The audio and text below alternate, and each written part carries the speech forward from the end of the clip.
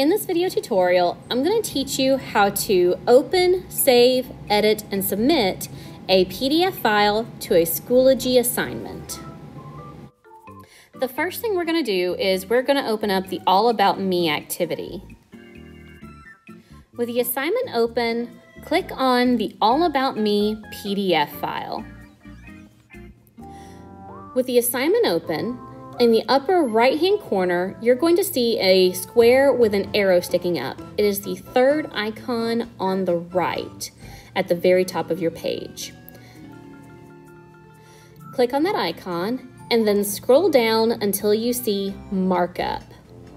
Once you find it, go ahead and click on that to bring up the markup tools. There are several tools in your toolkit including a pencil, a pen, a highlighter, and a few other tools as well that you can explore.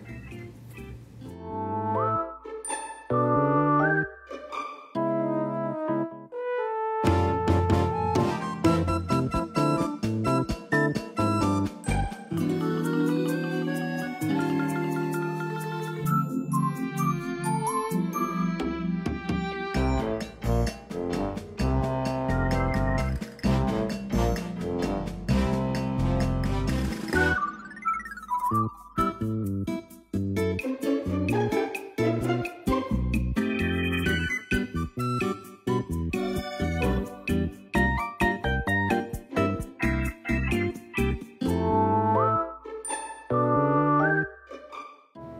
that we have our work of art created, it's time to save it and share it.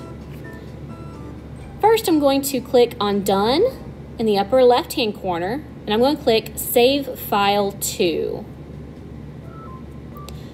Once that's done, I'm going to change the name by double clicking or double tapping on the title at the top. So if we're using my naming conventions, then I'm going to name this all about me.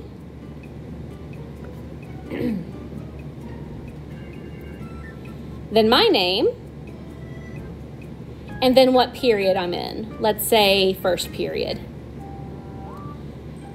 Once that's done, hit save in the upper left hand corner. And that should save it to your iPad. Now that we have it edited and saved, we're going to hit Submit Assignment, and we're going to hit Upload. Because it's on our computer, we're going to hit the first icon to pull it out of our to pull it out of our iPad. So we're to hit Browse. We're going to find the one we just made, and then we're going to hit Submit. I'm to type a comment if I can. I worked really hard on this and then submit and done. Profit, win,